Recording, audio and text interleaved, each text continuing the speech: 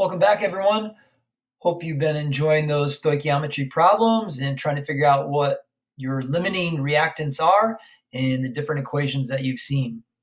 I'm going to introduce to you today a method that you can use to possibly help you with the five flask phenomenon or any other problems that you have encountered in terms of trying to figure out what a limiting factor is or trying to figure out how much of a product you are going to make. And this method is called the Bill's Box method, a method that I cannot claim as my own, but is a method that I picked up from another teacher, Mr. Ward, um, who he had picked up from his chemistry teacher at Williamston High School. So this method uh, I've introduced to other classes and they seem to like it. So just another way to look at things and can help you in terms of trying to figure out what a limiting reactant is or what a product is.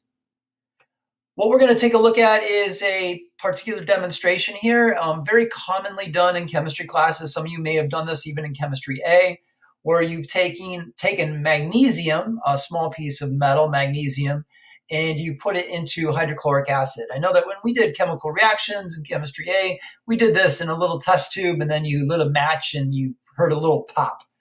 Well, in some classes, they also collect the gas that's produced from this reaction and you can gather it in a, a, syringe or you could capture it in a balloon per, you know, just like the five flasks. Um, different ways you can collect the gas that's produced um, when you conduct this. So uh, we have here 100 milliliters of hydrochloric acid and a two gram magnesium ribbon. And so the question is, what's going to run out first? Am I going to run out of hydrochloric acid or am I going to run out of the magnesium in this reaction? And how, what product should I, am I trying to capture or trying to estimate how much I can make? Well, we can use Bill's box to do this. And let me show you what that is.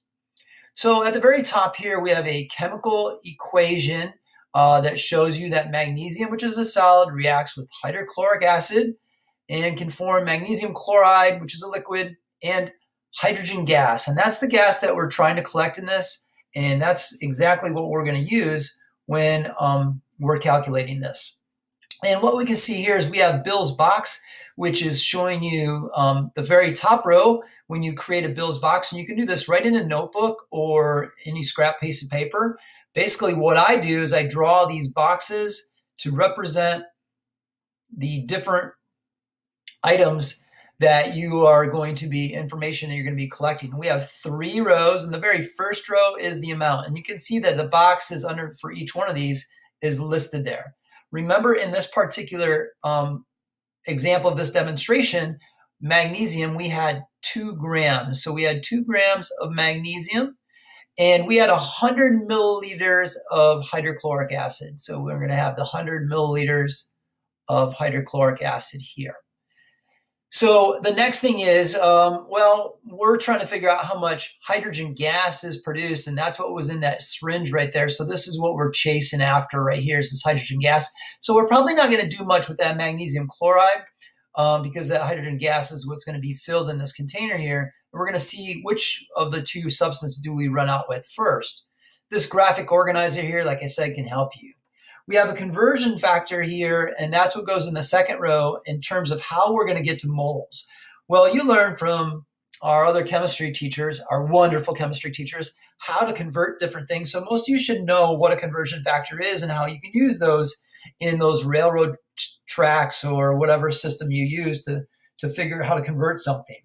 Well, the conversion factor for magnesium is simply its atomic weight. And in that case, we get that right from the periodic table. And we know the atomic weight for magnesium is 24.31, and that's grams per mole.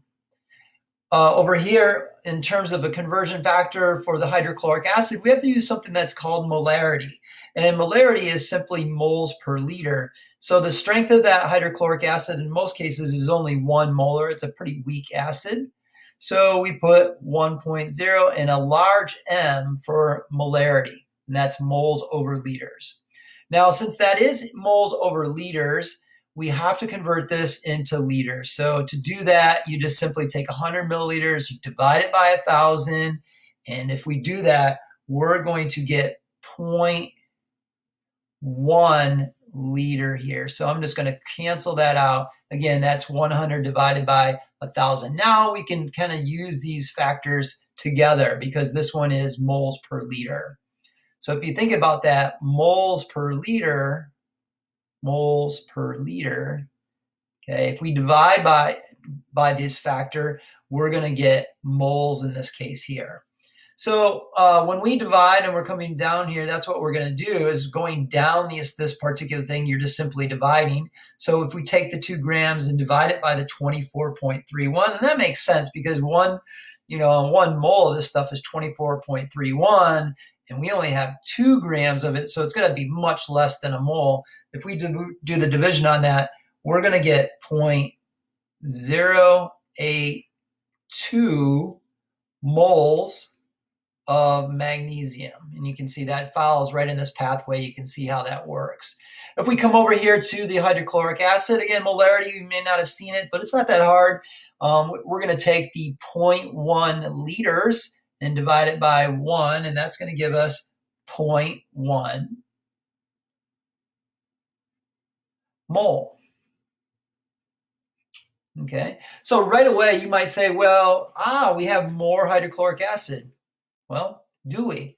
Well, let's take a look at how we're going to get to our product. So our moles of our product is where we use our mole ratios, and we can get those straight from the uh, chart up here. If we look, magnesium and hydrogen, it's the coefficients are both one, so it's a one-to-one -one relationship. So in terms of what I'm going to make in terms of hydrogen gas from that magnesium, uh, when I do that, I would make exactly 0.082 mole of hydrogen gas with that magnesium. Now, if I take a look at this one, though, the conversion factor is going to be slightly different because we have two grams of this for every one gram of that. So there's really half of this over here in terms of that. And that's what we have to do. We have to divide by two if we're going to take it over to the hydrogen. So if we take this conversion factor and we bring it over here, and I'll bring it up here like that, and again, we're going to divide or multiply by one half because of that two that's in front here, um, we're going to find out that that's going to give us 0.05 mole of hydrogen. Well, right away we can see then just by doing this simple, um, you know, the, these simple calculations that this is going to produce the least amount of hydrogen gas, and that would be the hydrochloric acid uh, is only going to give us 0.05 moles, whereas the um, magnesium would give us 0.082. So our limiting uh, reactant would be our, our hydrochloric acid here. So this is limiting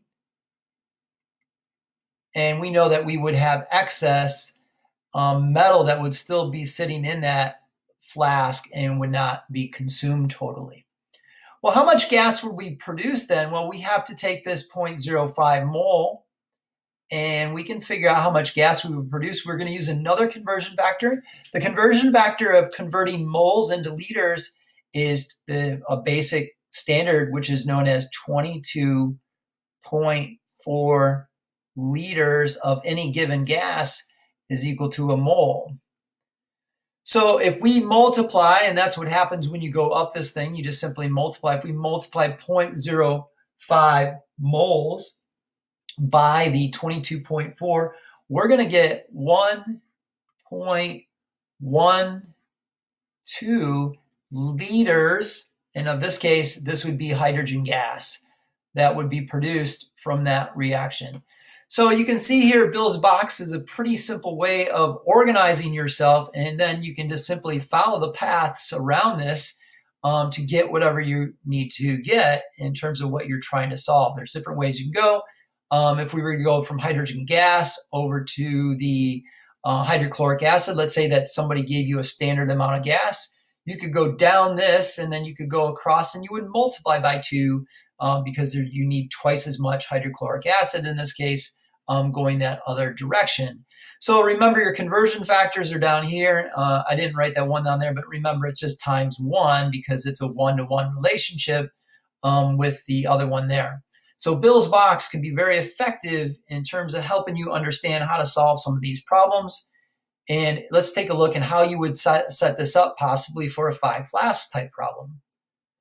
In our five flasks, um, you basically have your acetic acid or vinegar, which is up here.